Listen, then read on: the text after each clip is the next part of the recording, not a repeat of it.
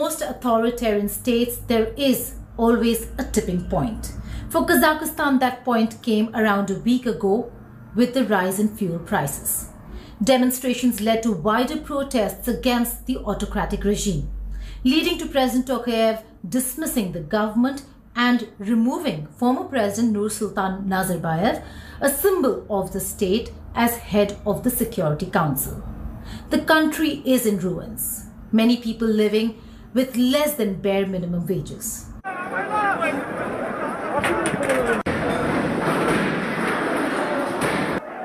A fuel price hike fueled agitation led to change of guard and wheels of reforms being set in motion in Kazakhstan. Demonstrations against a fuel price rise began just over a week ago before erupting into a wider protest against Tokayev's government and the man he replaced as president, 81-year-old Nursultan Nazarbayev. Burnt out vehicles and buildings paid testament to days of violence. Thousands have been detained and public buildings torched during mass anti-government protests over the past week. Seen as a satellite state of Russia, Kazakhstan looked to Moscow for help. A Russia-led alliance of ex-Soviet states, the Collective Security Treaty Organization, sent troops to restore order. An intervention that comes at a time of high tension in Russia and the United States over the Ukraine crisis. Of course, we understand the events in Kazakhstan are not the first and far from the last attempt to interfere in the internal affairs of our states from the outside. The measures taken by the CSTO have clearly shown we will not allow situation to be rocked at home. As the unrest mounted, President Tokayev attempted to ease the crisis by announcing a 180-day cap on fuel prices, sacking the country's cabinet and firing Nazarbayev from his post of head of the National Security Council. He ordered a corpus for reforms to be funded by the very same oligarchs who amassed wealth at the cost of an entire nation's well-being. More than half the wealth of Kazakhstan is outside the scrutiny of the government, controlled by Nazarbayev his family and close coterie of people. For nearly three decades following independence, the country was run by Nursultan Nazarbayev, a former Communist Party Politburo member with strong links to Russian President Vladimir Putin. President Nazarbayev resisted any move to introduce more democracy. Public protests in Kazakhstan are illegal without a government permit, and previous strikes and demonstrations were dealt with very harshly. The president erected statues of himself and built a new capital, Astana, which was later renamed Nur Sultan in his honor. As a week of deadly unrest, Russia-led forces who were sent to quell riots are preparing to withdraw as President Tokayev nominated a new prime minister. There are fears within the international community that the Russia-China support to Kazakhstan will not bode well for an independent Central Asia. It is clear that it is not in the European interest for the Central Asian state to become unilaterally dependent on Russia or China. On this too, we will and must have a close exchange between our two countries. But change of guard in no way means change in the way things are run in the country. Nazarbayev's daughter, Dariga, became Senate Speaker a day after his resignation, suggesting she might become the long-term successor. Global Omicron surge continues and this time it is China that is trying to contain the virus ahead of Beijing Winter Olympics that is scheduled to be held in the first week of February. After Henan province, Tianjin became the second and Xi'an the third province where strict restrictions were imposed after certain clusters of Omicron variant cases were found in the community. Here's a report. With Winter Olympics round the corner, China has started to see a surge in COVID-19 cases in various cities. Recent spike in cases resulted in shutting up of public transportation services from port city of Tianjin to other cities. The city is just an hour from Beijing, hence it has been put on high alert. The port city reported 41 Omicron variant cases this week. making Tianjin the first city in China battling a cluster of Omicron cases. Several cities are asking for mandatory quarantine for those arriving from Tianjin.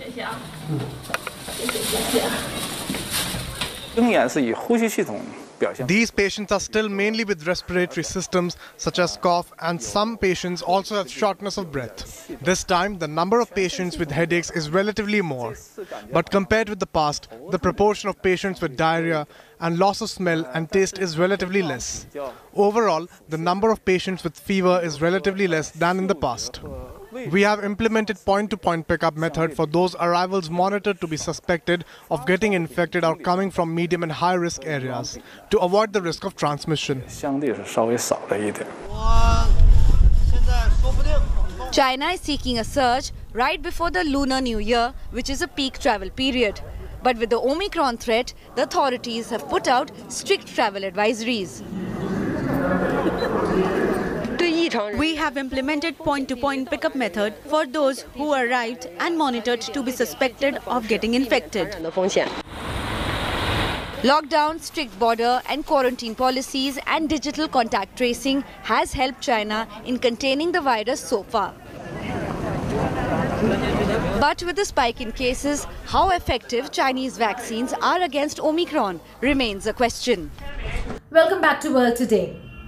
Now, Novak Djokovic's Australian visa row has dominated headlines across the globe since the tennis star was detained in Melbourne last week. While the court has decided to allow him to play in the men's draw, Australian Immigration Minister Alex Hawke cancelled his visa. Here's the full report. Australia has cancelled Novak Djokovic's visa, a decision the government says was taken in public interest. This is the second time that the world number one's visa has been cancelled in less than 10 days. The decision means that Djokovic, who remains unvaccinated, can be deported. A court had earlier revoked the Serbian's visa cancellation, but Australia's immigration minister exercised his discretionary powers under Australia's Migration Act to overrule the decision. The nine time Australian Open winner was hoping to defend his title next week which, if he won, would make him the most successful male tennis player in history with a record 21 Grand Slam titles. After the court order, Djokovic made a statement that left him open for more criticism, many even calling him a liar. He had revealed that despite receiving a positive COVID result, he broke the isolation protocol and attended his tennis center in Belgrade for an interview. He also admitted there was a mistake in a section of the form that covered his recent travel history, for which he shifted the blame on his agent. Djokovic's visa was first revoked shortly after his arrival in Melbourne on 6th of January after Australian Border Force said he had failed to provide appropriate evidence to receive a vaccine exemption. There has been a huge backlash from some Australians who have lived under long and strict COVID lockdowns that Djokovic had been allowed in despite being unvaccinated. The 34 year old Serbian can still launch another legal challenge to remain in the country, but the Australian Open, where he's been top seeded, begins on Monday. Besides, there's already been too much damage to the reputation and embarrassment to one of the greatest athletes of all time. Now, what next? Sports Bureau, India Today. Mohammad Sadiq was an infant when India was partitioned in 1947. He was separated from his family. His brother Habib grew up on the Indian side of the partition line. Now, 74 years later, at Kartarpur Corridor, the corridor that connects Gurudwara Darbar Sahib in Pakistan to India, these two brothers were reunited.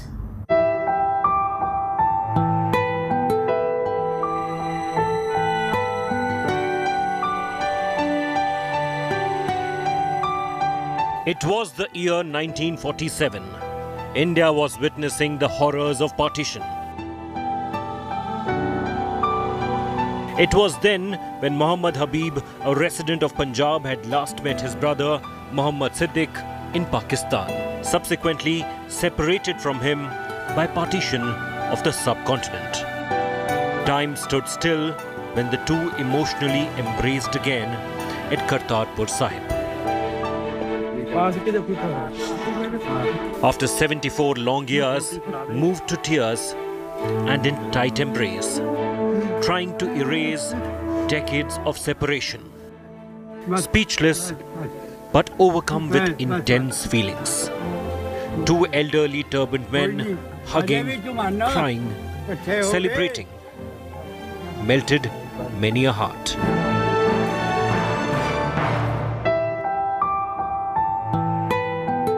Siddiq, now 80 year old, is from Faisalabad in Pakistan.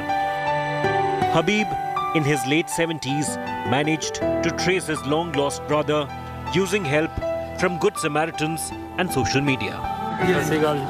A get together was planned at the Sikh shrine of Gurdwara Darbar Sahib in Kartarpur, nearly 5 kilometers inside Pakistan territory. And it was a reunion like never before. ਖੁਸ਼ੀ ਦਾ ਦੌਰਾਨ ਸੀ ਬਹੁਤ ਖੁਸ਼ੀ ਹੋਈ ਬਹੁਤ। ਤੇ ਜਿਸ ਵੇਲੇ ਫਿਰ ਸਾਡੇ ਕੋਲੋਂ ਫੇਰ ਗਿਆ ਫਿਰ ਸਾਨੂੰ ਉਹੀ ਪਰੇਸ਼ਾਨੀ ਬਣ ਗਈ ਅੱਗੇ ਨਾਲੋਂ ਵੀ ਜ਼ਿਆਦਾ ਬਣ ਗਈ। ਮੈਨੂੰ ਬਹੁਤ ਚੰਗਾ ਲੱਗਿਆ ਜੀ। ਬਹੁਤ ਹੀ ਚੰਗਾ ਲੱਗਿਆ ਬਹੁਤ ਹੀ ਪਿਆਰ ਹੋਇਆ। ਉਹਦੇ ਨਾਲ ਜੀ ਜੀ ਬਹੁਤ ਕਰਦਾ ਵੀ ਉਹਦੇ ਕੋਲੇ ਮੈਂ ਜਾਵਾਂ ਤੇ ਉੱਥੇ ਘਰੇ ਮੈਂ ਗੱਲਾਂ ਬਾਤਾਂ ਕਰਾਂ ਰਹਾ। ਸਾਹਦਾਨਾ ਰਹਾ। चाहे The brothers are now planning to catch up, rewind and relive a life they never had. With Arshdeep Kaur, Bureau Report, India Today.